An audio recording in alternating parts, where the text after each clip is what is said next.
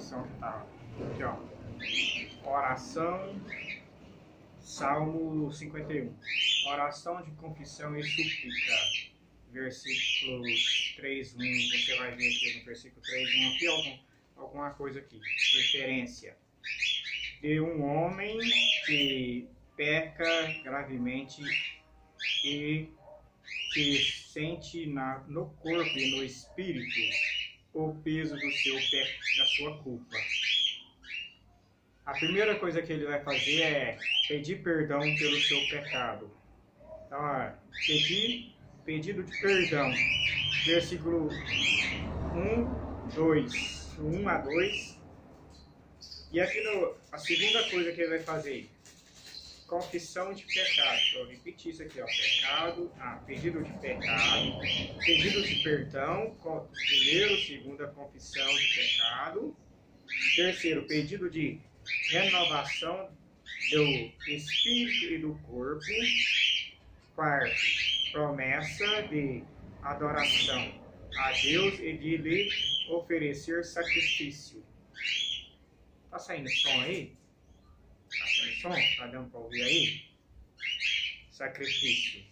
Oração em favor de Jerusalém. Então, é, esse aqui é o salmo, esse fio que está me atrapalhando fio aqui.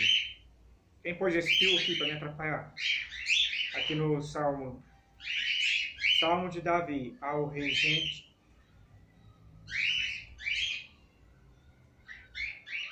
Salmo de Davi ao regente do coro, escrito depois que o profeta Natan falou com Davi a respeito do pecado que este havia cometido com Betseba por causa do teu amor a Deus. Por causa do teu amor, ó Deus, tem misericórdia de mim. Por causa da tua graça, grande compaixão, apaga os meus pecados. Então esse salmo aqui está falando aqui do da, quando Davi olhou da janela, Davi deixou de ir para a guerra, deixou de sair com seus soldados para ir para a guerra e ficou em casa. Mandou o soldado ir para a guerra e ficou ficou em casa, no seu palácio. Aí ele olhou pela janela e viu a Betsebe lá tomando um banho, e estava daquele estilo, né? E desejou, desejou, possuiu e engravidou.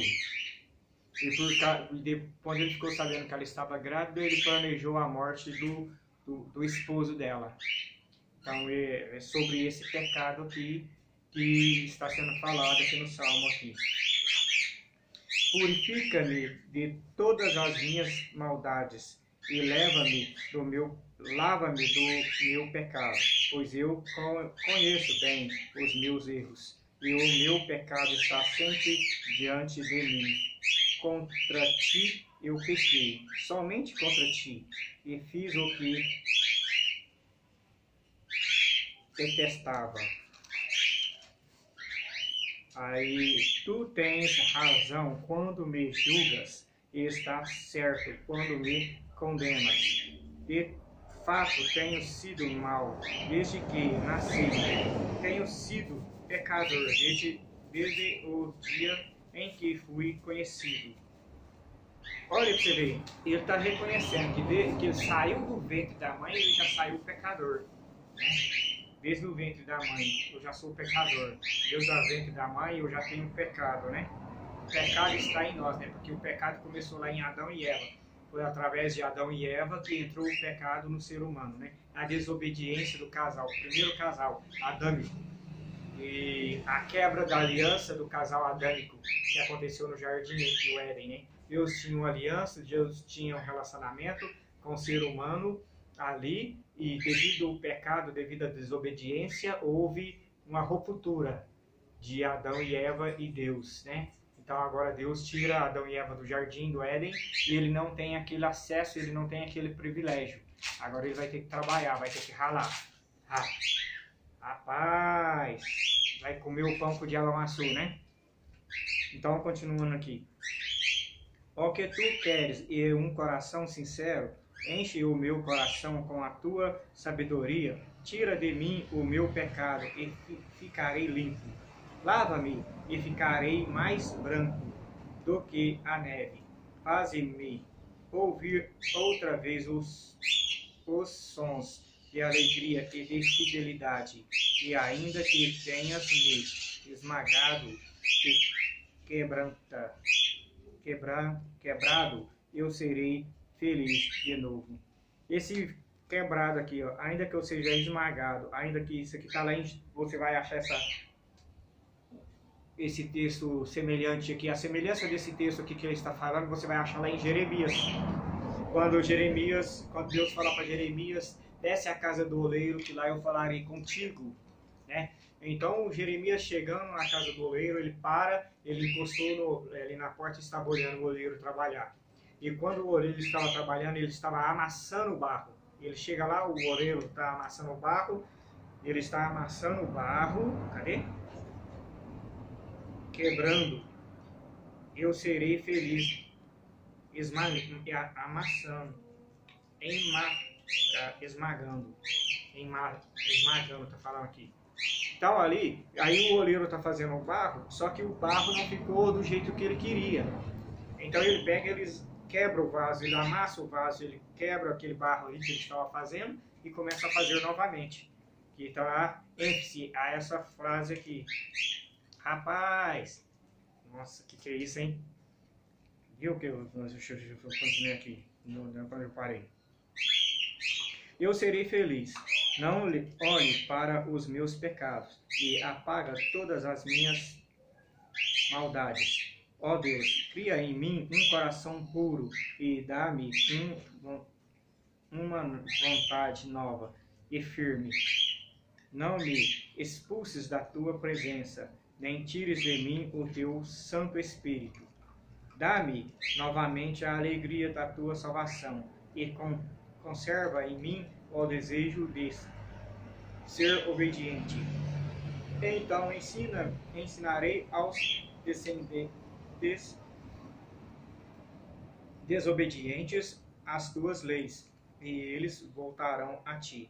Ó Deus meu Salvador, livra-me da morte, e com alegria eu anunciarei a tua salvação. Ó Senhor, põe as palavras certas na minha boca, e eu te louvarei.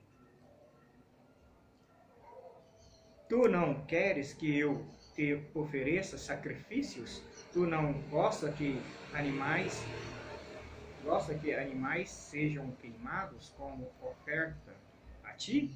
Ó Deus, o meu sacrifício é um espírito humilde. Tu não rejeitarás um coração humilde e arrependido.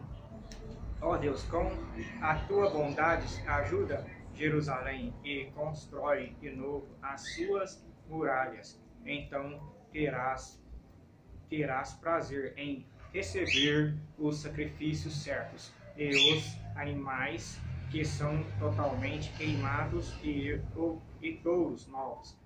Olha para você ver, além dele confessar pelo pecado dele, ele confessa pelo pecado dos outros e pelo pecado de Jerusalém. Mas eu quero te chamar a atenção que aqui, ó, cadê onde está algo mais que a neve? Ó, que tu queres é um coração sincero, enche, limpa, Tira de mim o meu pecado e ficarei limpo. Lava-me e ficarei mais branco do que a neve. Você lembra disso aqui? Aquele, aquele louvor que fala Alvo mais que a neve, alvo mais que a neve, sim, de sangue lavado, mais alvo que a neve serei. Na, na, na, na, na coroa que Jesus por nós padeceu. Ah, não era bem assim, não, mas era quase assim, né? Ah, tem nada a ver o que eu falei com a música, com o hino, né? Então, esse hino aqui, esse texto pra você ver a semelhança desse texto com esse, com esse louvor, aí você pega, vai lá e vê o Kleber Lucas falando que esse louvor aqui é, é racismo, é preconceito. Rapaz, não brinca não, hein? Fala sério. Oh, meu Deus, que, aonde o homem vai chegar? Até aonde o homem tem capacidade de chegar. Então é isso aí. O, então continuando aqui. Então aqui, pegar aqui. O que mais que tem aqui para nós? Fui recebido, fui concebido, isto é, comecei a ser formado na barriga da minha mãe. O salmista reconhece. Sai, cachorro! O cachorro tá mordendo meu pé aqui, ó. A presença do pecado na sua vida e nas suas ações, desde a sua concepção e o seu nascimento.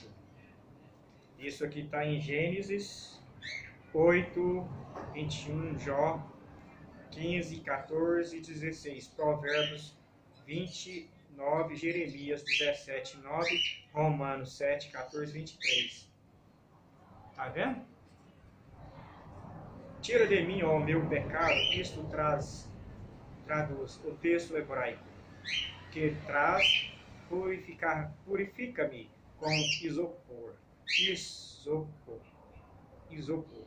Isopor é uma planta que era usada para purificar água ou sangue sobre pessoas ou objetos em cerimônias de purificação. Isso está lá em Levítico 14, 1, 7. Números 19, 16, 19. Aqui a cerimônia de purificação é uma figura de linguagem sobre o perdão e a restauração espiritual leva-me. Então é, é, é isso aí, vamos ver se gravou, saiu essa gravação, gravação aí, gravação. Testando aqui o som aqui, ó, que o carro testando esse som aqui, eu pus o som aqui, ó. Testando aqui, tchau, obrigado, tchau, obrigado. Aqui o som aqui, esse microfone aqui que fica com o fio aqui passando aqui na frente aqui da gente. Então é isso aí. Então.